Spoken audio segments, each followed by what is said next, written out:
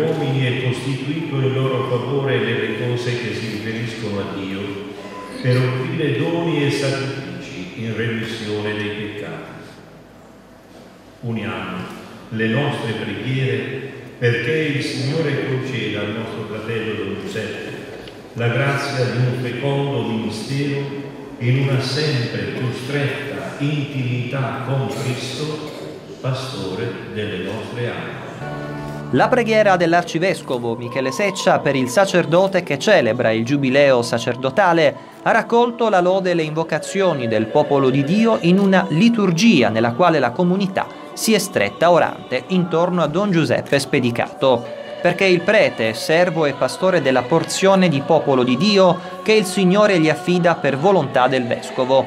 C'è stata una festa nella chiesa parrocchiale Maria Santissima Assunta di Monteroni, un momento di fede per ringraziare il buon pastore per il dono del sacerdozio ministeriale nel 25 anniversario della sua ordinazione sacerdotale, pochi giorni dopo il suo ingresso ufficiale alla guida della comunità monteronese.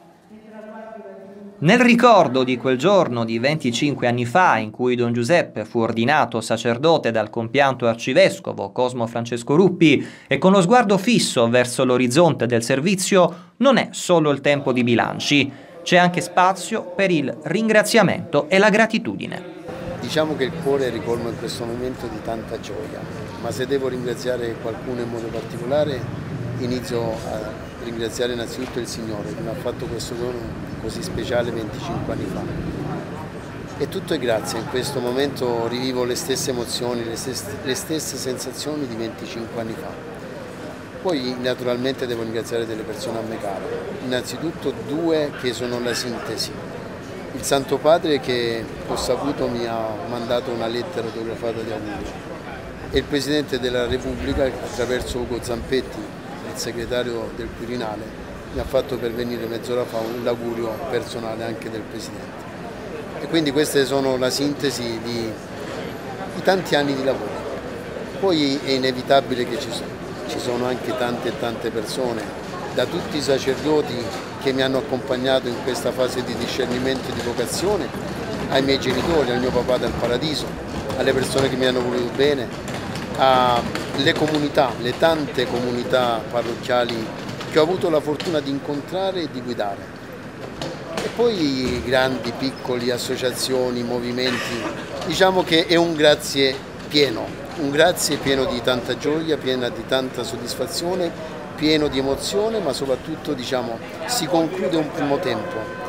Riprendiamo a prendere il largo, a salpare ancora verso nuovi orizzonti e con la grazia del Signore e col vento dello Spirito Santo verso nuove realtà che il Signore certamente non mi farà mancare. Nell'omelia il vescovo di Albano, cui Monteroni ha dato i natali, ha invitato Don Giuseppe, i numerosi sacerdoti presenti intorno al confratello festeggiato, ma anche tutta la comunità a chiedere al Signore il dono della simultaneità, coniugare nella vita, come l'ora et labora di San Benedetto, la contemplazione con la vita attiva. Era questo il metodo vissuto da Paolo VI che domenica scorsa Papa Francesco ha proclamato santo. E prima ancora che iniziasse a Milano il suo ministero episcopale, Montini si domandava come imparare, come apprendere l'arte di coltivare la vita interiore mentre si è costretti ad una intensa vita esteriore. Ecco, io allora una formula, quella del metodo della simultaneità, come lo chiamato. Un metodo per coltivare la contemplazione insieme col fervore della vita attiva. Giovanni Battista Montini in realtà metteva per scritto un progetto che fin da giovane aveva coltivato progetto di essere monaco, condensato in quell'ora e quell'ora benedettina che rimase il sogno della sua vita. Ma che cosa rappresentano nella vita di un prete traguardi come questo? E ancora Semeraro, da sempre, al fianco del cammino vocazionale di Don Giuseppe fin dai tempi del seminario di Molfetta, a dare una risposta. Sono delle tappe importanti come lo sono per ciascuno di noi i compleanni, per la vita di famiglia, gli anniversari dei genitori e anche nella nostra vita di sacerdoti. Sono delle tappe che segnano delle crescite dei momenti in cui noi possiamo intanto ringraziare il Signore per quello che ci ha permesso di fare in questo tempo e nello stesso tempo fare anche una revisione di coscienza per vedere se possiamo fare, aggiustare qualche ruota per, perché vada tutto meglio. Insomma, ecco. Finale a sorpresa. Gli auguri manoscritti di Papa Francesco consegnati nelle mani di Monsignor Semeraro per Don Giuseppe. Casa Santa Marta, 10 settembre 2018, al signor presbitero Giuseppe Spedicato nel 25 anniversario dell'ordinazione sacerdotale con la mia benedizione le chiedo, lo chiedo beh, in spagnolo, vabbè, per favore di non dimenticarsi di pregare per me fraternamente a Francesco. Questo è il biglietto. E nelle stesse ore quelli di Sergio Mattarella Presidente della Repubblica che lo scorso 2 giugno ha conferito a Don Giuseppe l'onorificenza di Cavaliere al Merito della Repubblica Italiana. Gentile Reverendo, il Presidente della Repubblica mi incarica di ringraziarla per averlo reso partecipe della sua emozione in occasione del 25 anniversario della sua ordinazione sacerdotale. Colgo l'occasione per inviarle a lei e ai suoi parrocchiani un saluto molto cordiale da parte del presidente Mattarella, al quale unisco con piacere il mio personale.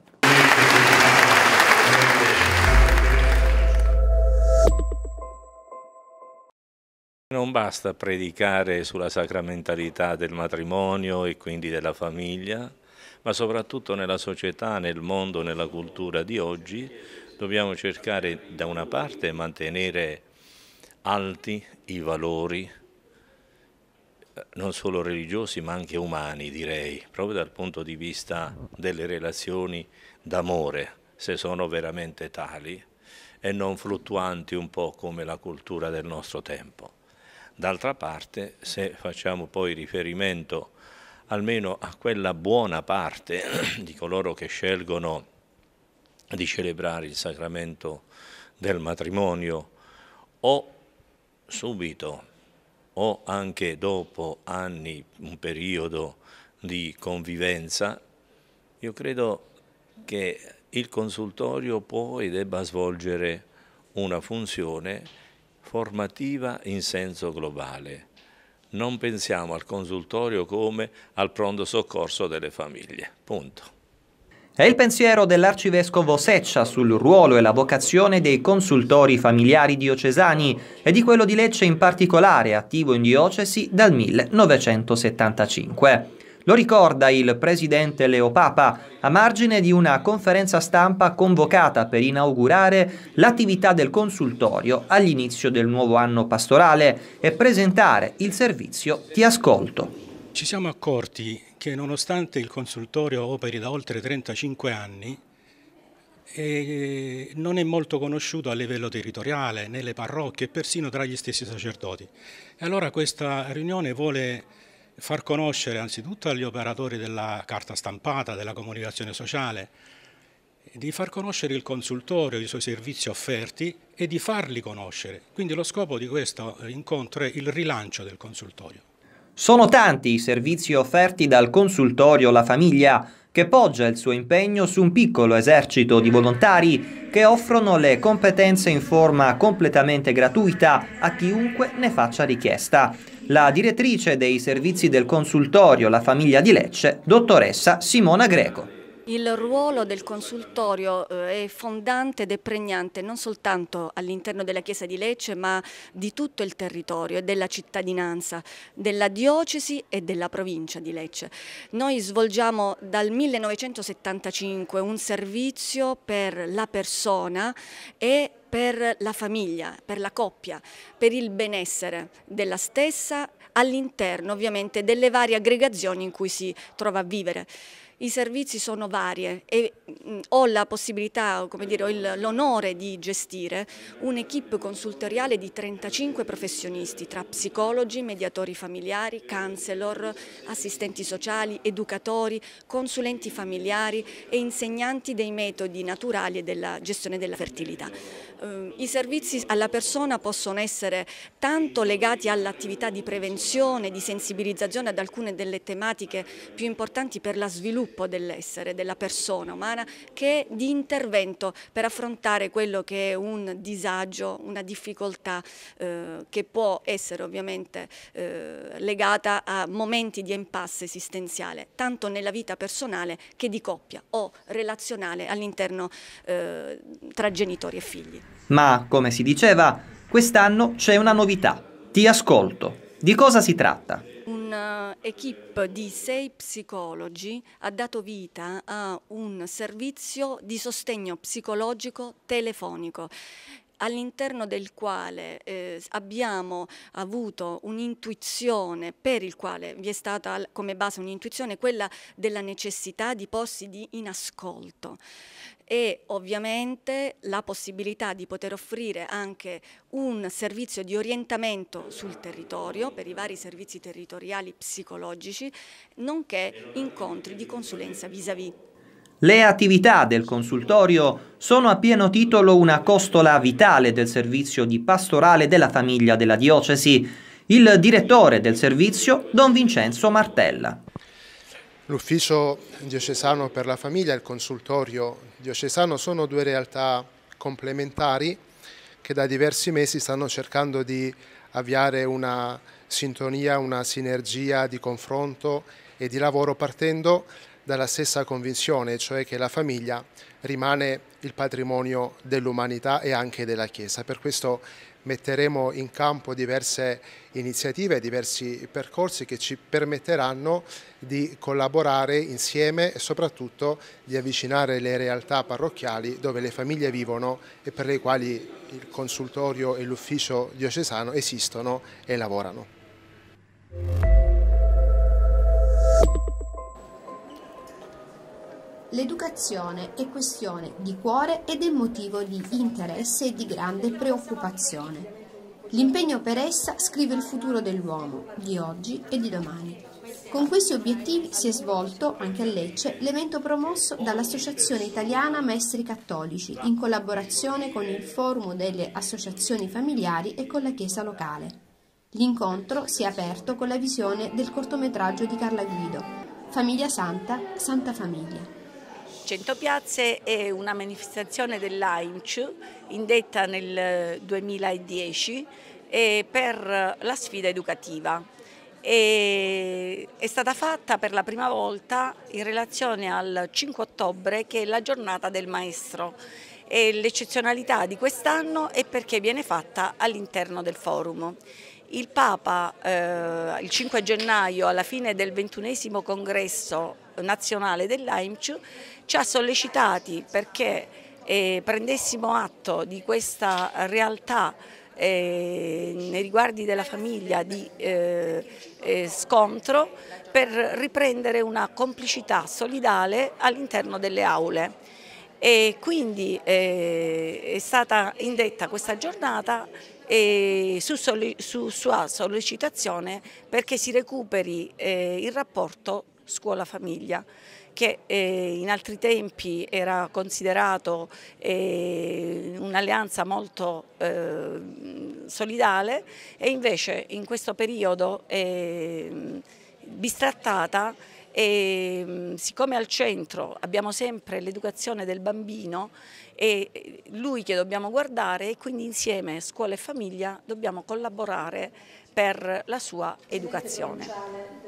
Una complicità solidale, ha chiesto Papa Francesco ai maestri cattolici, una complicità che passa obbligatoriamente dal dialogo tra due istituzioni, la scuola e la famiglia. Ecco la novità delle 100 piazze di quest'anno. Il Forum delle Associazioni Familiari eh, da quest'anno aderisce a questa iniziativa in quanto c'è stata una sinergia, un diciamo, inserimento di AIMC nazionale nel Forum nazionale. Qui a Lecce, in provincia di Lecce, diciamo che ne faceva già parte da alcuni anni, ma questo input che ci è arrivato dal livello nazionale ha favorito e sicuramente favorirà in futuro ehm, la nostra collaborazione comune. E 100 Piazze è un evento di sensibilizzazione, di stimolo per la ricostituzione di un'alleanza educativa che sicuramente eh, sotto gli occhi di tutti si è rotta a vari livelli e soprattutto diciamo che si tratta di iniziative che intendono eh, mh, aprire delle strade, cioè proporre delle soluzioni e delle possibilità ehm, anche attraverso il progetto Immischiati che è arrivato alla sua terza annualità condotto appunto dal forum, progetto del forum nel quale quest'anno avremo anche l'aiuto dei maestri cattolici. E questo progetto poi eh, che sarà appunto rilanciato eh, questa, in, alla fine di questa edizione di 100 piazze eh, consiste nell'offerta di un servizio da parte delle associazioni del forum ai dirigenti e a quelle scuole che appunto ab eventualmente abbiano delle difficoltà di dialogo e di collaborazione con la componente genitori. La comunità cristiana ha stretto contatto con la scuola e non solo per l'insegnamento della religione cattolica e con la famiglia, vive con attenzione e preoccupazione l'impegno educativo. La missione della Chiesa si radica nei valori del Vangelo, in quella originalità e quella bellezza di rapporti che ci ha insegnato Gesù nel suo incontro eh, nel suo pellegrinaggio terreno. Questa qualità, questa bellezza di rapporti il Signore Gesù ci ha comandato di eh, continuare a perpetuarla nel tempo. Pertanto quei valori, quella significatività di rapporti che Lui ci ha insegnato sono il fondamento della famiglia, sono anche eh, la bellezza di quella missione educativa che la scuola ha. Pertanto la Chiesa vuole essere realmente, veramente un ponte, un'alleanza tra eh, la scuola e la famiglia. Strategie di comunicazione da adeguare ai tempi e dovere della corresponsabilità. I consigli pedagogici e metodologici della relatrice Leda Farì, già presidente provinciale dei maestri cattolici. Rifondare l'alleanza scuola-famiglia vuol dire passare da una fase in cui i genitori hanno solo partecipato alla vita della scuola, poi quella avviata con i decreti delegati, poi eh, L'altra fase è quella della collaborazione con la scuola dell'autonomia, quindi la partecipazione al piano dell'offerta formativa e quant'altro, ma il passo in più che bisogna fare attualmente è quello di condividere con corresponsabilità il piano educativo. Ciò vuol dire che non si tratta solo di io ti lascio entrare o tu aiutami genitore, ma collaboriamo insieme, ognuno con la specificità del proprio ruolo, ad un progetto condiviso. Come è possibile arrivare a tutto questo? Certamente sostenendo la genitorialità da parte della scuola con iniziative di formazione, con incremento di corpi intermedi come i comitati dei genitori che vanno a rafforzare quella che è la funzione dei rappresentanti eh, di classe o di istituto e poi su questo batterò molto, cioè ci tengo, eh, affinando le tecniche della comunicazione. Non è possibile impostare il rapporto con uno stile aggressivo né con uno stile passivo, ma tutti dobbiamo fare un passo avanti per l'assertività, cioè dichiarare le proprie idee nel rispetto di quello degli altri, ma non secondo, necessariamente secondo i desideri altrui. Quindi empatia, decentramento, mettersi dalla parte dell'altro per arrivare insieme a parlare della vita e del ragazzo perché di quello ci dobbiamo occupare, non dello scontro fra me e te. Presente all'incontro anche l'arcivescovo di Lecce. Quando parliamo di pastorale scolastica, quando parliamo di pastorale della famiglia, penso che entriamo in un ambito educativo, pedagogico molto molto delicato e importante, soprattutto oggi. Pertanto il dialogo e la continua, direi, eh, relazione tra la Chiesa, intendendo per Chiesa tutta l'attività pastorale, e la famiglia come comunità di base essenziale, come ecco, vita mh, la vita che si forma, la vita che deve essere educata, eccetera, no? si richiamano, quindi Chiesa e famiglia. E per questo io devo dare atto proprio all'ufficio scuola della diocesi, come anche alla pastorale familiare, che non pensano a svolgere programmi autonomi, ciascuno nel proprio ambito. Questo che riguarda la specificità si fa, ma il dialogo e l'interrelazione tra ciò che avviene per esempio nel mondo della scuola e non solo attraverso l'insegnamento della religione, anche, ma ciò che avviene nel mondo della scuola.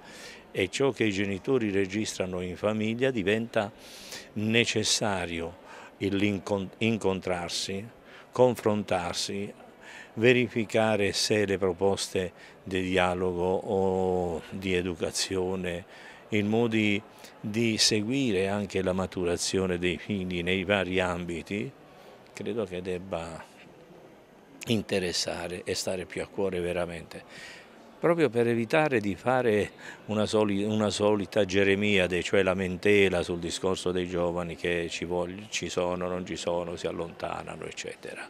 Ecco, il dialogo, ce lo auguriamo, è diciamo, il mezzo pedagogico più importante, più stimolante che ci fa pensare e preoccupare di questa relazione educativa.